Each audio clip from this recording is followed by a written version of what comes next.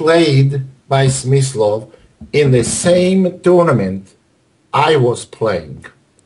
In 1971, in the USSR Championship in Leningrad, St. Petersburg today, against none other than Anatoly Karpov. Karpov was already a very strong player there and was was one of the candidates to win this USSR championship. And let's see the game. Smyslov then was already 50 years old, wasn't very young man. And the reason I'm showing you this game, you, he played this game with youthful energy, knight c3, d5, cd, knight takes d5, e3, e6, d4, cd, ed. What we get here is a Panov attack from Caro-Kann, bishop e7, bishop d3, castling, both sides, knight c6, rook e1, and knight f6. Knight f6 move was my favorite move. I used to play this position many times, and I played knight f6. And Karpov played knight f6 as well. But however, knight f6 is not the best move. The best move is bishop f6. And knight f6 played very seldom today. Later, I put a lot of analysis in uh, this position and came to conclusion the position is simply not good for black. Bishop c2. Actually, a3 was played first.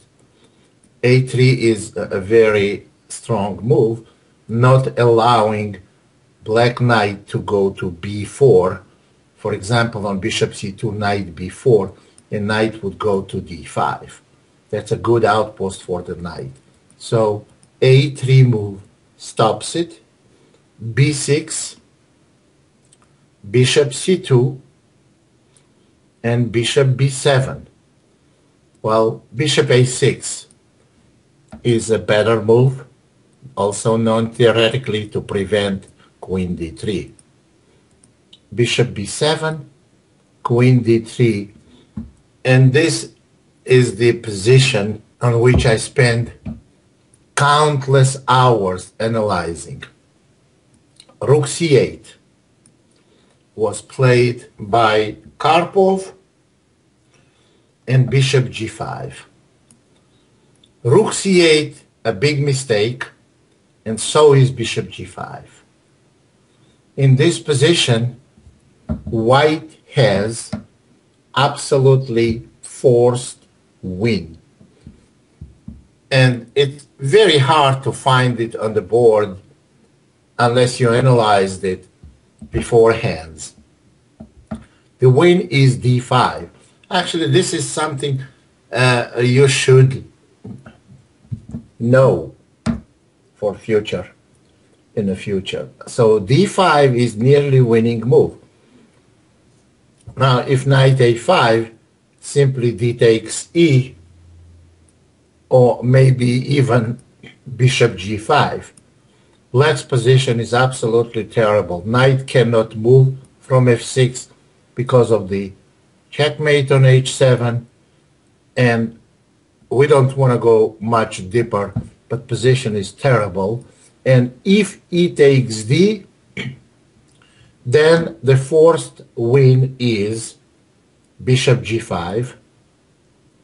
Now threatening simply to take on f6 and take on h7 with a checkmate. So Smyslov played bishop g5, but correct move was first d5 on ed bishop g5, and black has no defense.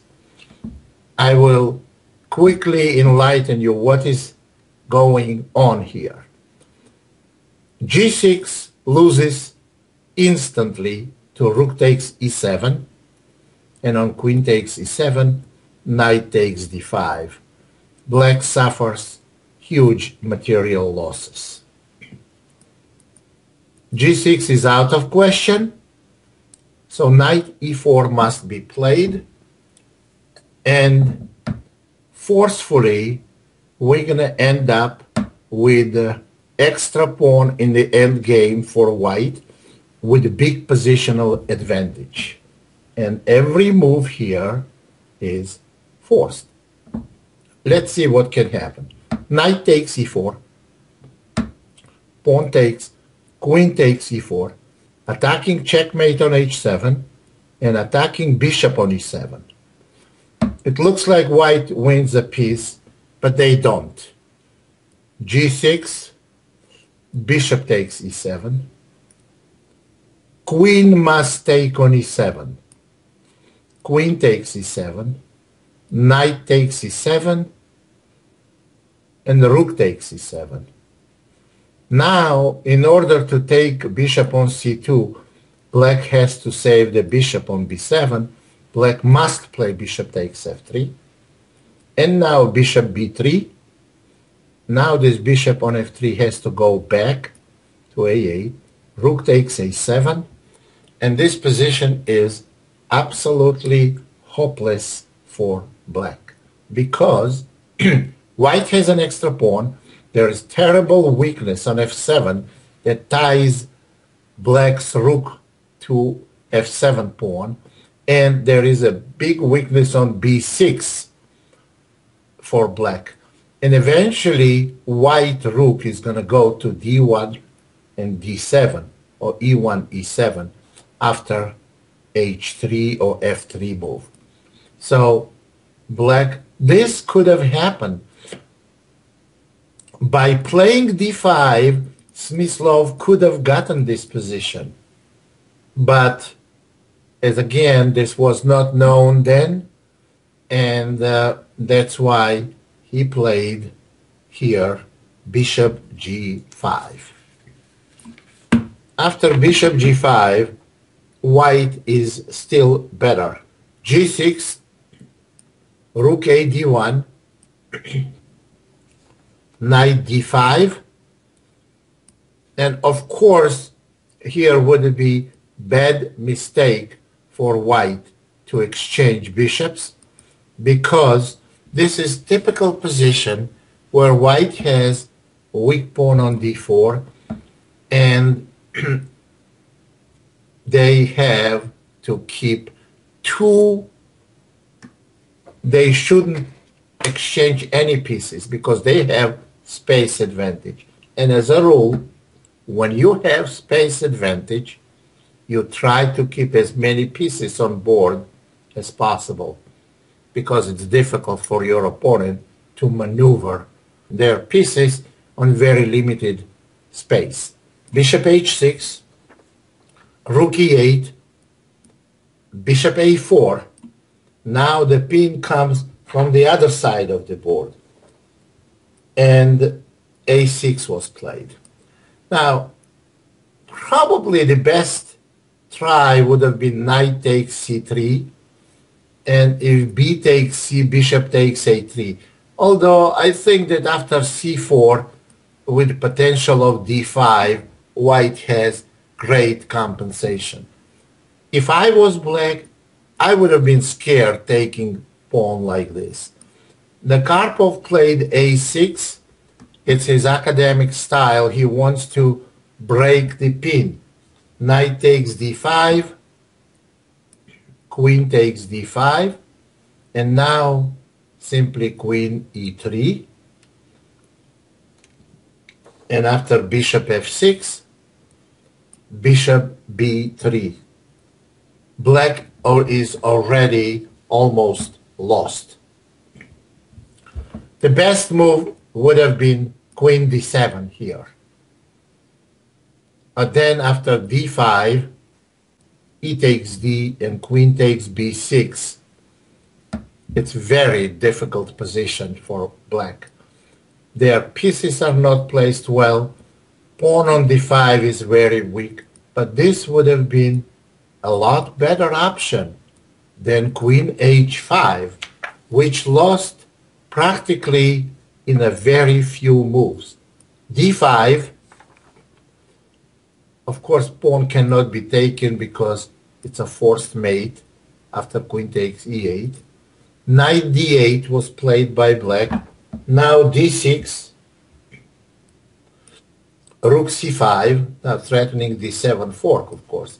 Rook c5, d7, rook e7, and now killing move, queen f4, attacking f6 bishop and preparing queen to b8.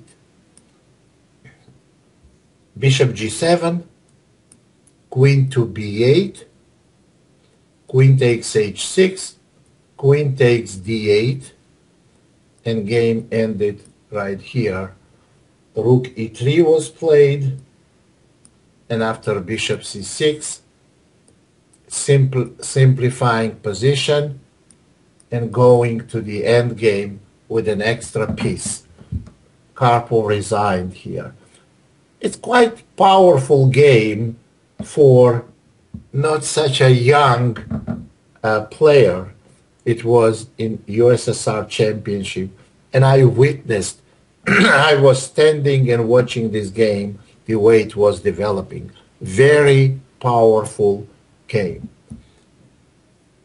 So Smyslov died last year at the age of 89. And he is dearly missed by everyone who knew him. And to me, he was like a father figure. He was he gave me a lot of advices in chess, in general approach to a chess, and was a very smart and a very colorful personality. And I will miss him very, very much. Thank you very much for listening to the lecture, and I hope to see you very soon with more of the world's greatest